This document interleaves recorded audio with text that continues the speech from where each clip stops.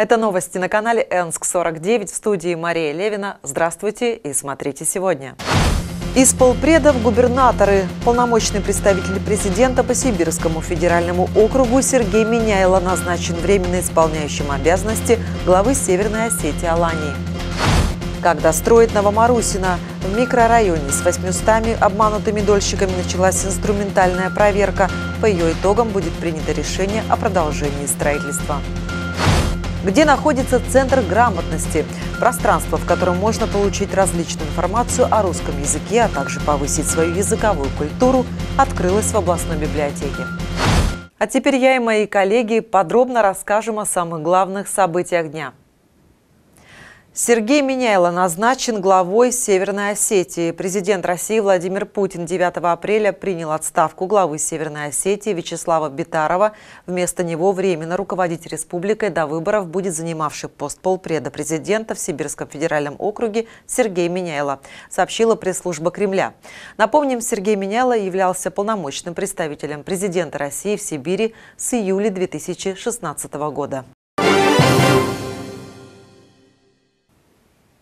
Областного женского баскетбольного клуба «Динамо» появилась новая тренировочная база, а у жителей Кировского района Новосибирска – спортивный комплекс. На его открытии побывала наша съемочная группа, которая выяснила, какими еще видами спорта можно там заниматься и на какие средства удалось возвести этот объект. На открытии нового спортивного комплекса «Александрит», который в течение двух лет на внебюджетные средства возводило Берское производственное объединение «Кристалл», прибыли представители власти города и области, депутаты всех уровней, прославленные победители Олимпийских игр и действующие спортсмены. Повстречали мы здесь и Ирину Минх, ныне президента женского баскетбольного клуба «Динамо». Олимпийская чемпионка осталась довольна тем, как подобрано оборудование игровой зоны и качеством зала в целом. На таком же паркете, на таких же кольцах играют профессионалы в Америке НБА, double НБА женщины. И все чемпионаты мира и Европы играют точно на таком же паркете и кольцах. Поэтому спортивный комплекс, баскетбольная площадка, она на высшем международном уровне сделано. Теперь здесь можно будет проводить не только качественные тренировки женского баскетбольного клуба «Динамо», который теперь полностью переезжает в этот зал, но и соревнования самого высокого уровня. Поэтому стало логичным, что символический ключ от спортивного комплекса застройщик вручил Ирине Минах.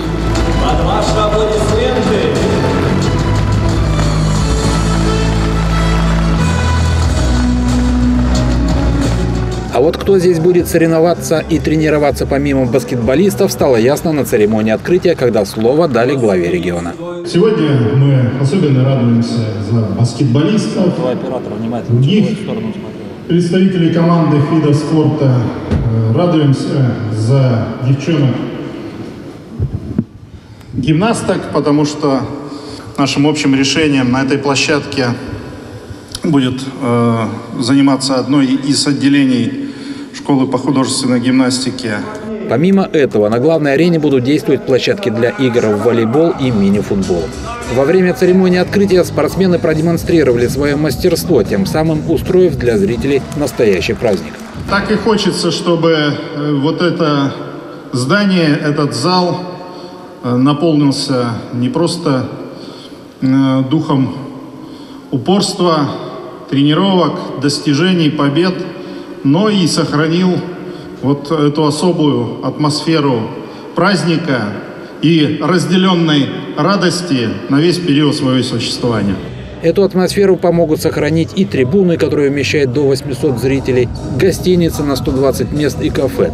Напомним, что все эти условия для тренировок и соревнований создавались при поддержке правительства Новосибирской области. Впрочем, как и другие спортивные комплексы, введенные в эксплуатацию в последнее время. Центр спортивной подготовки имени Евгения Подгорного, фехтовальный центр Станислава Позднякова, волейбольный центр «Локомотив-Арена» и многие другие.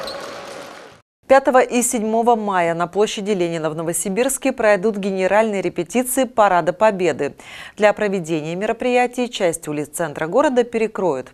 В генеральных репетициях будет задействовано более 2000 личного состава и 50 единиц военной техники. Парад Победы 9 мая на площади Ленина начнется в 10 утра. Более тысячи обманутых дольщиков вскоре получат новые квартиры.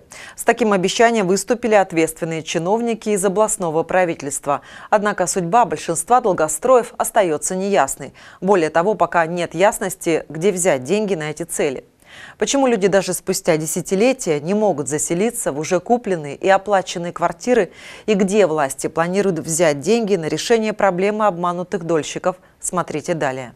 Микрорайон Новомарусина с самого начала строительства привлекал покупателей невысокими ценами на жилье. Ради воплощения мечты жить в собственной квартире многие люди оказались готовы мириться и с большими пробками в этом районе, и с прочими социальными, экологическими и строительными проблемами. Однако все оказалось не так просто. Примерно 800 покупателей остались и без денег, и без новых квартир. Строительные работы начались в 2015 году, но спустя 4 года одного из застройщиков признали банкротом. С тех пор власти пытаются решить этот вопрос, нынешний год также не стал исключением. Во время заседания профильного комитета регионального заксобрания министр строительства Новосибирской области Иван Шмидт заявил, что сейчас идет инструментальная проверка первого дома жилого комплекса Новомарусина. На нее отведено 30 дней. По ее итогам наблюдательный совет примет решение либо о достройке объекта, либо о выплате компенсации обманутым дольщикам. Ориентировочно, по словам министра строительства, в июне уже можно будет приступать к решению проблемы по двум первым домам. А депутат Дмитрий Козловский, на чьем округе находится Новомарусина, предложил продумать увеличение бюджетного финансирования на эти цели. Если мы по миллиарду будем выделять, Москва добавляет, получается 5-7 миллиардов э, в год до 2024 года, пока идет финансирование, мы закроем половину и действительно к 2024 году эту тему можем закрыть. Поэтому вопрос политического решения нас, депутатов, убеждать губернатора и в этот фонд добавлять деньги. В Новосибирской области сегодня статус долгостроев имеет более 40 домов. Не восстановлены права более 5 тысяч обманутых дольщиков. Шанс в ближайшее время справить новоселье из них имеют более 1300 обманутых дольщиков Новосибирска и Краснообска. Это долгострои по адресам Закаменский 11, 12, 13, Вилюйская 5 и 6, Калинина 20 и Краснообск 12. В отношении каждого объекта было принято решение о финансировании. Закаменский 11 – 213 миллионов, Закаменский 12 – 264 миллиона, Закаменский 13 – 154 миллиона, Калинина 20 – 51 миллион. В первом квартале этого года состоялись конкурсы на проектно-изыскательные работы. В третьем планируют провести конкурс на определение генподрядчика и выйти на стройплощадки.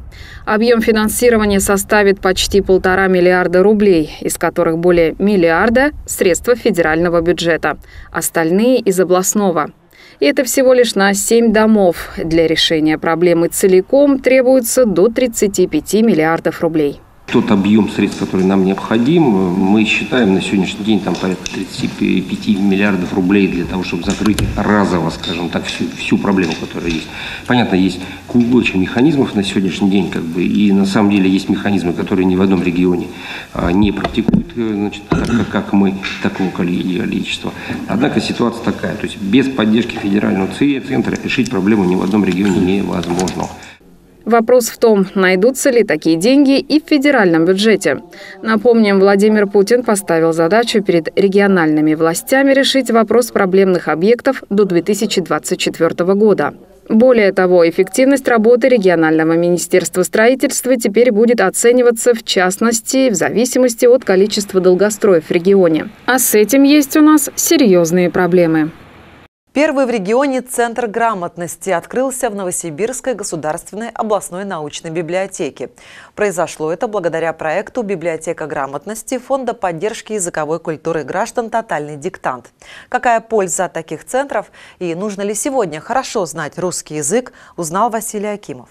Новосибирская государственная областная научная библиотека Впрочем, как и многие другие подобные учреждения в нашем регионе, уже давно не просто хранилище книг. Здесь используют и современные компьютерные технологии, и привлекают посетителей различными перформансами, и ведут большую просветительскую деятельность. К этому списку сегодня добавился первый в области Центр грамотности, открытый совместно с фондом «Тотальный диктант». И из 55 центров грамотности мы открываем в Новосибирской области сегодня первый, а завтра еще в четырех районах Новосибирской области откроем четыре таких центра грамотности. И откроем в библиотеках, которые стали модельными библиотеками, преобразованы, модернизированы. В новом центре грамотности все желающие смогут ознакомиться с современными методиками преподавания, подобрать необходимые материалы для самообразования, узнают интересные факты о русском языке, получат практические навыки написания текстов, цифрового этикета и деловой коммуникации а также найдут материалы для подготовки к экзаменам, справочную литературу, красочные современные книги, рассказывающие о русском языке. Еще одна из задач, которую ставят перед собой сотрудники центра, сформировать на его базе сообщество людей, интересующихся русским языком и профессионалов, работающих в этой сфере. Жизнь движется вперед, и библиотека сегодня, конечно, сохраняя свою главную функцию, будучи хранилищем всего, что накоплено человечеством с точки зрения литературы, становится центром функциональной грамотности – на церемонии открытия присутствовала известная писательница Гузель Яхина, отметившая, что уровень владения русским языком всегда играл важную роль в нашем обществе. Сегодня грамотно может быть каждый. А каждый может грамотно писать и грамотно говорить. И каждый даже выбирает, может ли он быть грамотным. И сегодня, конечно, грамотность – это такая просто составляющая уважения к себе и уважения к собеседнику или к тому, кому ты пишешь письмо. Проверить свою грамотность можно будет уже в эту субботу, 10 апреля. В 15 часов в нашем городе пройдет всероссийская акция «Тотальный диктант». Ожидается, что на площадке в НГУ диктатором станет Гузель Яхина. А в пресс-центре ТАСС текст диктанта прочитает интеллектуальный голосовой помощник робот Николай. С полным списком площадок можно ознакомиться на официальном сайте проекта. Кроме того, участие в акции можно принять и в онлайн-режиме. Сотрудники госавтоинспекции, которые в Верхтуле спасли из горящего дома четырех малолетних детей, получили заслуженные награды и признательность жителей поселка. На этой торжественной церемонии побывал наш корреспондент, который также выяснил, как относится вышестоящее начальство к подобным действиям подчиненных, выходящим за рамки их прямых служебных обязанностей. 14 марта ночью, когда поселок Верх Тула мирно спал, экипаж ДПС нес службу, патрулируя дороги населенного пункта около двух часов ночи э, по улице Советская, 65, обнаружили задымление крыши дома. Э, припарковали патрульный автомобиль, направились в дом. В этот момент кто-то из соседей бегал вокруг горящего дома и стучал в окна, пытаясь разбудить его жителей. В помещении находилась я, моя подруга со своими ребятишками. Двое моих старших сыновей ночевали у бабушки, так как мылись в бане. И моя дочь была ну, младшая самая. Поначалу все эти люди не понимали, что происходит. Но когда им сообщили, что крыша их дома горит, сильно запаниковали. Я, конечно, растерялась сильно. Забежала, начала воду наливать в ведро. Тут э, следом забежал сотрудник ДПС и кричит, что ты делаешь? Говорит, выключай, давай детей скорее. Сейчас никто уже и не скажет, как бы развивалась ситуация, не появись инспекторы так вовремя. Люди, привыкшие принимать мгновенные решения в самых сложных ситуациях, сразу поняли, как надо действовать. Попросили дать вещи, укутать детей. Все, начали эвакуацию, в машине разместили детей. Потом, ну, как бы взрослые оделись, вышли. Приехали пожарные, приступили к тушению ну а отличившихся полицейских перед лицом их коллег и товарищей с удовольствием наградили. И не только сельская поселковая власть, но и депутат Госдумы. И, кстати, вверх Туле, несмотря на то, что в поселке есть своя пожарная охрана, полицейские уже не в первый раз приходят на помощь погорельцам. Это стало э, доброй традицией нам слав, говорить слова благодарности людям в погонах, и это очень приятно. Хотелось бы, конечно, чтобы э, экстренных таких случаев э, э случа, случалось как можно меньше и не приходилось проявлять мужество, но такие ситуации случаются.